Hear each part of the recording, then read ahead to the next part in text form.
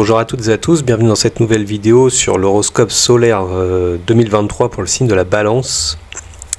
Donc j'ai parlé de trois décans. Alors le premier décan sont les natifs nés du 24 septembre au 4 octobre, donc en moyenne, hein, ça dépend des années.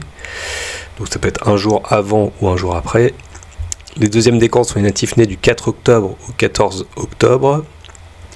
Et les natifs du troisième décan sont les personnes nées entre le 14 octobre et le 23 octobre.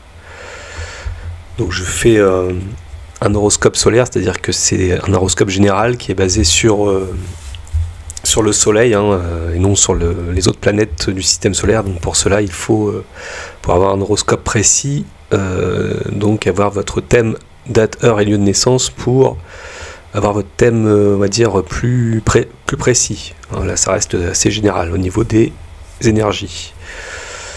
Alors, donc les natifs premier décan en balance. Alors vous aurez le soleil opposé Jupiter en bélier du 1er janvier au 20 février, donc en début d'année. Hein. Alors ça peut donner un peu de, d'extraversion, un peu trop d'expansion, on est un peu trop euh, dans les excès. Alors on peut être un peu suffisant, euh, un peu trop optimiste sur, sur certains paramètres, sur certaines choses. Donc ça peut être au niveau relationnel, au niveau professionnel, affectif ou autre. Donc c'est vrai que là, il y a une période de début d'année où on peut-être on part un peu euh, trop en assurance. Alors attention aux dépenses, euh, ça peut être dans des problèmes de cœur éventuellement si, vous avez des problèmes de santé, parce que le soleil peut représenter aussi euh, l'énergie vitale, le cœur. Donc après, il faut voir selon votre santé. Forcément, c'est pas le cas pour toutes les balances première décan, bien sûr. Mais attention peut-être à certains excès en fait. Alors ça peut jouer sur le physique, l'alimentaire, le voilà, le côté. Euh, mais après, ça peut être aussi bien dans le domaine financier ou autre. Donc après, il faut voir euh, forcément en fonction de votre thème. Euh, donc un début d'année avec un peu peut-être d'optimiste, qui est pas forcément mal en soi, mais attention de ne pas voir trop à la hausse et d'être trop orgueilleux, suffisant et trop en assurance par rapport à ce qui est dans la réalité. Hein. Donc ce, qu'il y a, c'est que vous voulez agir peut-être trop en conséquence, trop avec impatience un peu plus qu'à l'accoutumée, on va dire. Donc euh, bon voilà, c'est un peu, c'est un peu voilà, une légère euh, extraversion de la personnalité là à ce moment-là. Ensuite, vous aurez le quinconce à Saturne en Poisson à partir du 7 mars 2023. Donc ça peut donner, euh, si vous voulez, à votre personnalité un peu une période un peu de doute et de flottement. On peut se sentir un peu bloqué avec des peut-être des choses à régler. Alors ça peut être pour le domaine professionnel, Saturne, mais après, voilà, il faut voir dans quel, encore une fois, dans quel domaine ces maisons, enfin ces planètes tombent dans vos maisons. Donc c'est vrai qu'il y a quand même une période un peu d'instabilité ou un peu de remise en question, enfin en tout cas de, doute, où il faut peut-être ajuster certaines choses. Ensuite, vous aurez le trigone euh, de Pluton à votre Soleil en Verseau, enfin votre Soleil donc euh, trigone Pluton en Verseau, pardon, du 23 mars au 11 juin. Donc là, vous allez avoir vraiment euh, par rapport à des remises en question euh, que j'ai parlé, là vraiment positive. C'est-à-dire que, on va dire à peu près dans la même période, hein, fin mars, hein, mois de mars, euh, vous, pourrez quand même euh, avoir des, choses voilà, qui se mettent en place de manière positive. Alors peut-être dans le relationnel, ça peut être des nouveaux amis, des nouveaux projets qui peuvent arriver. voilà, des périodes de remise en question qui peuvent être assez positives pour vous. Donc une sorte de renouveau hein, qui peut arriver dans votre vie. Alors c'est vrai qu'il y a quand même certaines choses à mettre en place peut-être avec ce quinconce à Saturne. Hein, euh. donc après c'est voilà c'est il faut pas voir ça non plus euh, comme un grand euh, un grand changement de vie qui, arrive d'un coup. Ça se fait progressivement et ça commence à partir du, de mars à juin là et ça reviendra plutôt l'année prochaine. Donc vous allez commencer à sentir à peut-être avoir à, nouveau des, opportunités, donc à suivre de près. Ensuite, vous aurez le Soleil quinconce à Jupiter en taureau du 17 mai au 5 juillet, et aussi du 17 novembre au 31 décembre. Donc là, euh, une période où, encore une fois, attention peut-être aux dépenses, à l'excès, un peu à la, suffisance, on a un peu trop... Euh, euh, dans les peut-être les excès à ce moment-là, hein, euh, mais léger, c'est léger, donc c'est euh, un quinconce. Alors c'est à Jupiter en taureau, donc ça peut parler de matériel, de tout ce qui aura pas que le financier, l'argent. Ça peut parler aussi de vos biens terrestres, hein, de faire attention de ne pas être trop dans le, les excès à ce niveau-là, des excès de table, de sensualité, de voilà, de tout ce qui aura pas avec les bonnes choses de la vie, on va dire. Donc bon, après voilà, c'est une période relativement légèrement bonne, hein, c'est pas non plus si compliqué que ça. Après, ça peut donner un peu de voilà, des, légères dépenses, par exemple. Donc faire attention à ce moment-là, mais c'est pas grave. Ensuite, vous avez le trigone à Mars en Gémeaux du 1er janvier au 31 janvier, donc au même moment que euh, donc euh, de l'opposition de Jupiter. Donc là, il y a une bonne énergie malgré euh, un envie de, de, de, faire beaucoup de choses dans le dans la bienveillance, dans l'optimisme. On peut agir et mettre en place beaucoup d'idées qui nous tiennent à cœur. Enfin qui vous sied bien, qui vous, qui vous porte.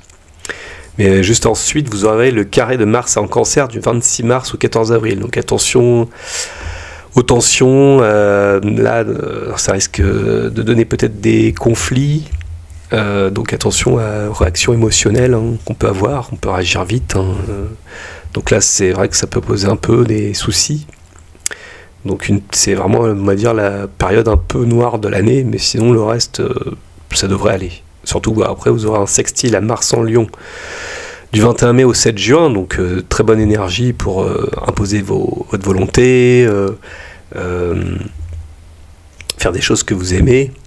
Donc vous pouvez être assez impétueux, imposant, peut-être manifester plus de volonté à, cette période-là, plus de, de chaleur humaine, de, faire des choses qui vous tiennent à cœur, etc. Donc là c'est plutôt positif Ensuite, vous aurez la conjonction de Mars en balance, donc dans votre signe du 28 août au 12 septembre. Donc là, en revanche, euh, Mars est en exil, donc euh, selon les aspects, alors si c'est bien inspecté, vous aurez une bonne énergie pour euh, les relations, pour tout ce qui a rapport à, mettre en exergue certaines qualités de chez vous, pour chercher l'harmonie entre, entre, vos proches, entre vos relations, dans le couple, le contrat par exemple aussi.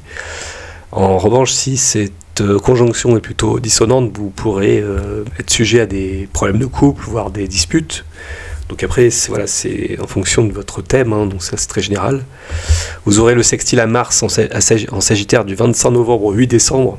Donc là, en revanche, vous aurez euh, une bonne énergie pour agir, pour aller de l'avant. Alors ça peut être bien pour les voyages, les déplacements par exemple, en Sagittaire, mais ça peut être bien aussi pour vous battre pour des idéaux, affirmer vos idées, euh, vos conceptions des choses. Euh, ça peut être bien par exemple pour du sport, pour bouger, pour euh, se dépenser dans n'importe quelle manière. Donc voilà, vous pouvez mettre en place beaucoup de choses, beaucoup une bonne énergie qui circule bien à ce moment-là.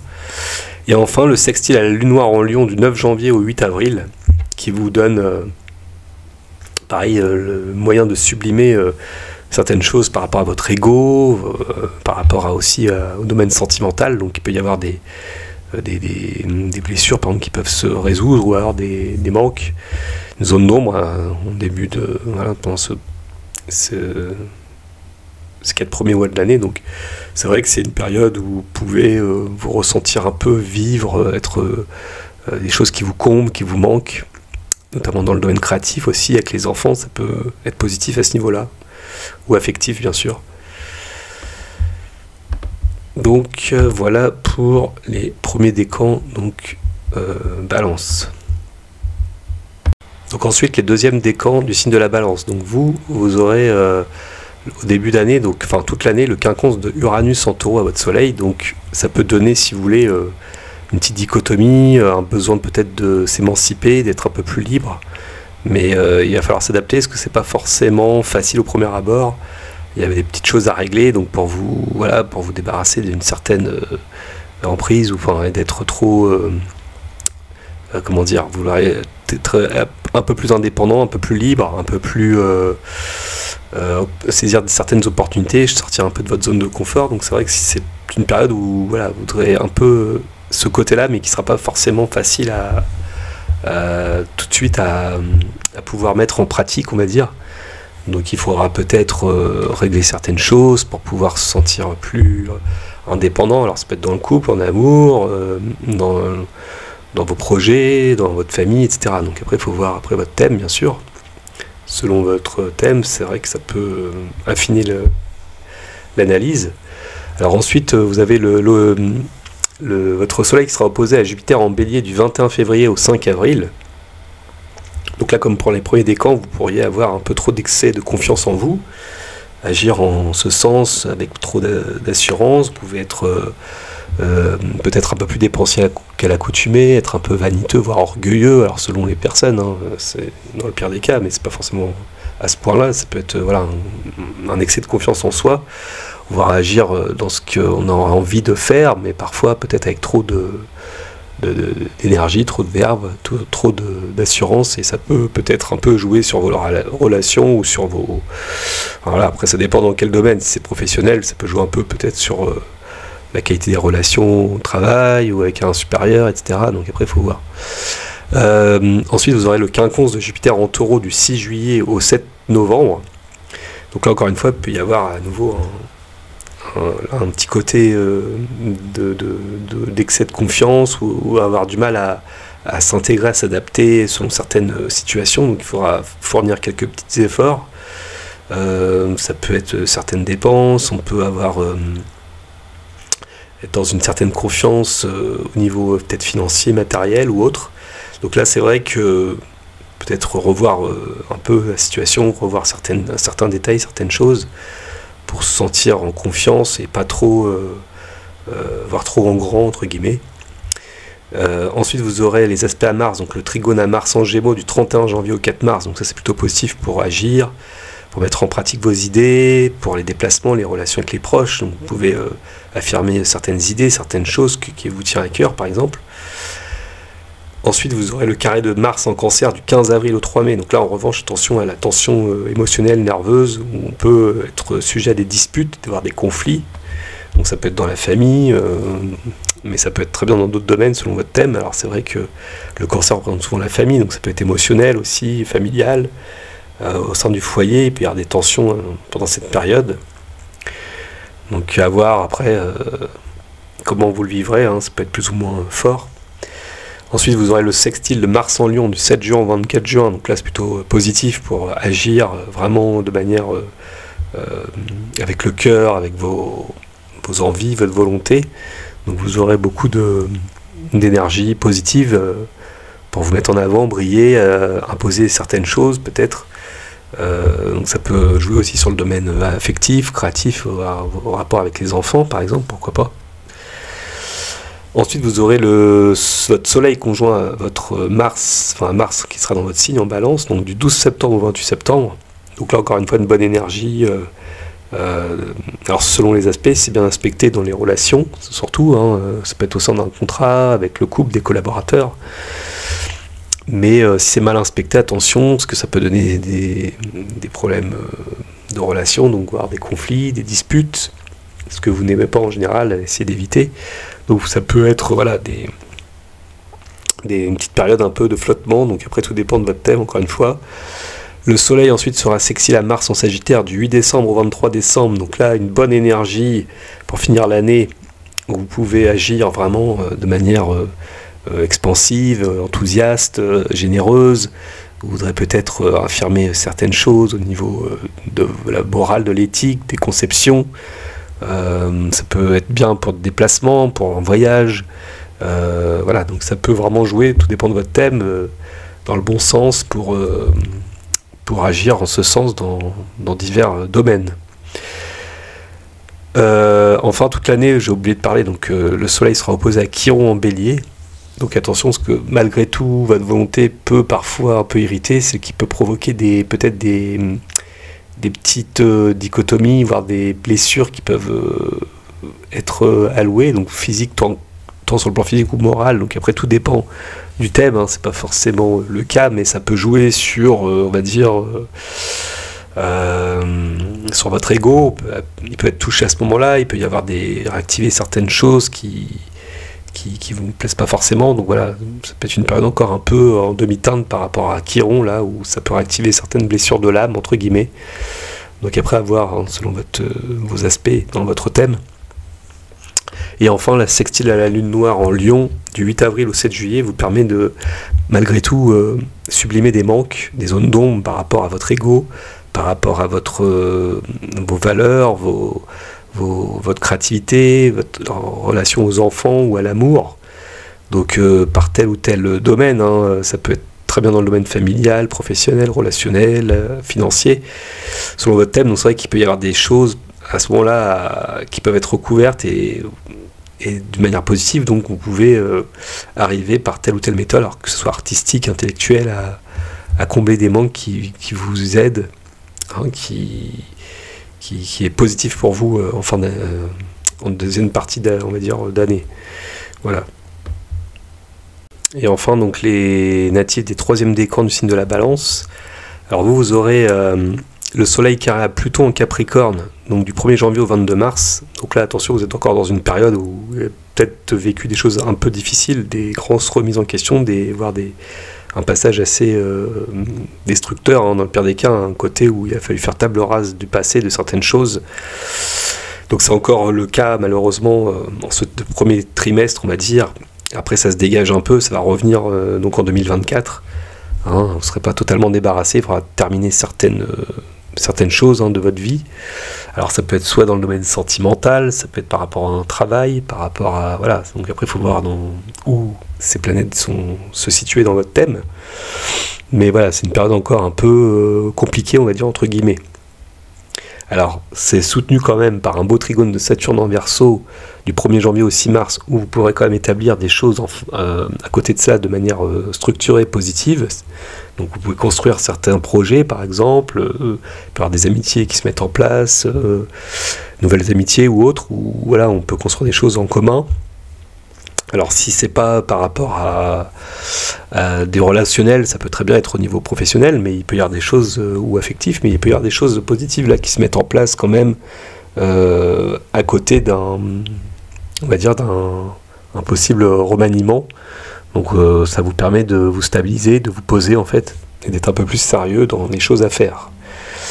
ensuite, vous aurez le quinconce à Neptune en poisson toute l'année aussi. Donc là, pareil, une petite dichotomie, un besoin de d'ajuster un peu ses idéaux, de revoir un peu certaines choses où on est un peu trop porté dans le rêve, un peu trop euh, peut-être un peu euh, irréaliste, où on a peur de l'intuition, mais on est on est parfois un peu porté par des courants un peu brumeux, hein, poisson et, et un peu flou, donc on a du mal à se situer, à, suivre peut-être son intuition parfois, peut-être un peu euh, comment dire hésitant ou le cul entre deux chaises, comme on dit, pour, euh, euh, savoir qu'est-ce qui, qu'est-ce qui vous qu'est-ce qui vous plaît le mieux en fait, comment suivre certaines intuitions.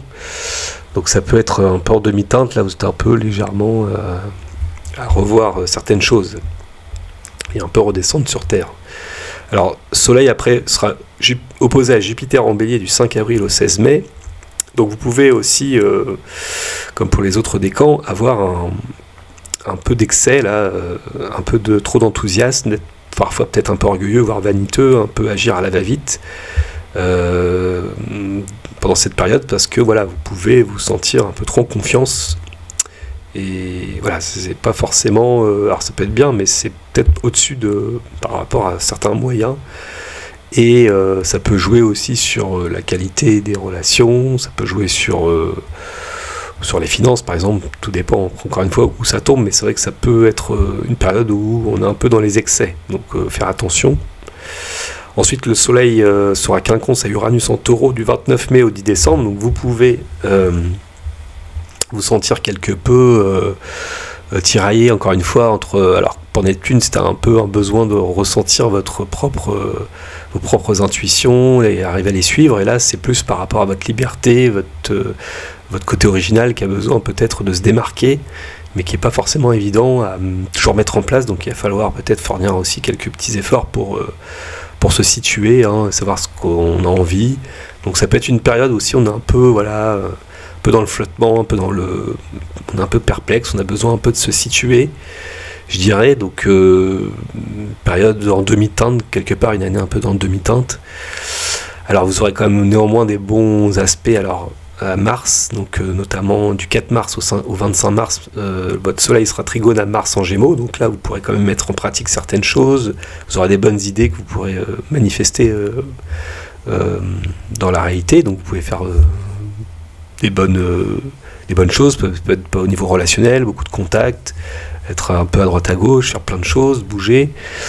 Vous pouvez avoir envie de plus parler, d'infirmer vos idées qu'à l'accoutumée, voilà. En revanche, attention quand même au carré Mars en cancer du 3 mai au 20 mai, donc la période de mai un peu délicate, hein, avec euh, risque de tension émotionnelle, où on peut être un peu agressif qu'à l'accoutumée, un peu plus réactionnel, on peut se sentir attaqué aussi parfois, on peut avoir des, réactions un peu vivaces, un peu, qui peuvent un peu nous, nous toucher émotionnellement. Donc ça peut être dans le domaine familial, euh, la famille, mais ça peut être dans d'autres domaines aussi, hein, éventuellement. Alors ensuite, le Soleil sera sextile à Mars en Lion du 24 juin au 10 juillet. Donc là, c'est positif pour l'action, pour, euh, pour vous manifester votre volonté et imposer certaines choses. Hein. Vous pouvez euh, vraiment agir avec le cœur, faire, faire ce que vous avez envie de faire. Donc ça peut être bien pour la compétition, le sport par exemple, ou pour d'autres domaines. Vous pouvez abattre beaucoup de choses à ce moment-là. De manière positive, vous pouvez vous sentir un regain d'énergie. On, on va dire c'est la période estivale hein, qui commence, donc ça peut vous permettre de vous sentir bien à ce moment-là. Après, vous aurez la conjonction à Mars en balance dans votre signe du 28 septembre au 12 octobre. Donc encore une fois, euh, si la conjonction est plutôt bien inspectée, vous aurez une bonne énergie pour imposer euh, certaines choses dans le, les relations, le couple, agir en ce sens, avec des collaborateurs, vos proches. En revanche, si euh, c'est mal inspecté, attention, on parle encore une fois avec des risques de, de conflits, de tensions, euh, euh, d'agressivité, mais sans balance, donc ça reste mesuré, mais attention quand même, peut-être à des affaires de justice, pourquoi pas, ou de contrat hein, relationnel qui peut parfois être un peu en période un peu voilà de tension, donc ménagez-vous. Euh, après, vous aurez le, Soleil sextile à Mars en Sagittaire du 23 décembre au 31 décembre. Donc cette fin d'année vous donnera beaucoup d'énergie pour aller de l'avant, pour vous sentir euh, épanoui, pour peut-être pour un déplacement, un voyage. Voilà, que sais-je, ça peut poser certaines, euh, certains idéaux, certaines éthiques, morales, hein, poser une certaine philosophie, refaire un peu le monde, enfin, concevoir des choses donc ça peut être bien aussi pour le sport, voilà, pour tout ce qui est en rapport avec euh, ce qui demande de l'énergie, on va dire. Et enfin, vous aurez le carré à la lune noire en cancer du 1er janvier au, 8 juillet, donc peut-être un début d'année où vous pouvez avoir un manque par rapport à la famille, il peut y avoir une zone d'ombre à ce niveau-là, il peut y avoir euh, euh, un peu comme une dette karmique. Alors ça dure qu'une semaine, c'est pas méchant, mais voilà, un petit passage à vide peut-être par après ces fêtes où vous sentez peut-être euh, à l'écart euh, de la famille, donc il peut y avoir un peu un côté nostalgique à ce moment-là, donc ça peut jouer sur votre morale entre guillemets, mais c'est pas c'est passager, hein, vous inquiétez pas.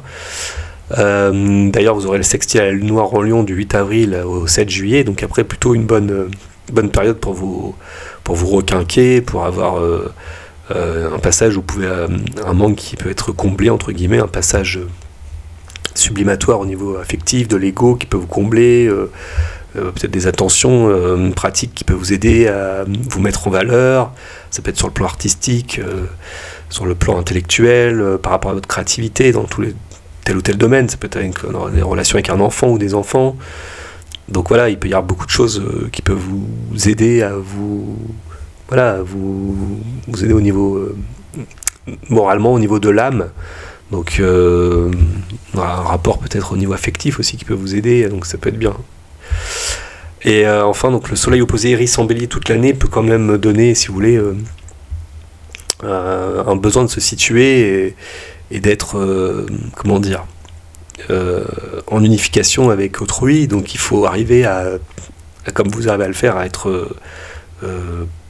comment dire, euh, égalitaire, euh, juste et et alors cependant, ça peut créer quand même des dichotomies par rapport à votre volonté. Donc il peut y avoir éventuellement des divisions qui peuvent se créer hein, par rapport à une action en face. Donc c'est vrai que toute l'année, ça peut créer des divisions, mais c'est pas forcément voilà si négatif que ça. C'est ça peut créer des, des sortes de différences par rapport à. Alors ça peut être au niveau de ce qu'on veut établir, de nos idées. Donc c'est vrai que ça reste assez abstrait, mais il faut voir dans votre thème exactement dans quel domaine ça peut éventuellement se situer. Mais voilà, c'est pas forcément grave. C'est une position où il faut arriver à, à pas sombrer dans le, la division, mais arriver à réunifier les choses, ce qui ne sera pas forcément évident. Voilà, donc c'est quand même une année un peu en demi-teinte pour le troisième décan, donc c'est vrai que c'est pas forcément toujours facile, mais voilà, il y a quand même des bonnes choses aussi, donc euh, voilà. ce que je peux résumer. Donc en tout cas, voilà, j'ai terminé. Donc si cette vidéo vous a plu, n'hésitez pas à liker, partager, vous abonner, comme d'habitude. Vous pouvez aussi me consulter euh, pour connaître votre horoscope 2023, si vous le souhaitez, hein, pour avoir vraiment une, précision par rapport à votre thème, hein, plus personnalisé. Donc vous aurez les détails à la fin de la vidéo et sous la vidéo en descriptif. Voilà, et bah, quant à moi, je vous souhaite euh, bonne journée, portez-vous bien, euh, prenez soin de vous, et donc à la prochaine vidéo pour le signe du scorpion. Au revoir.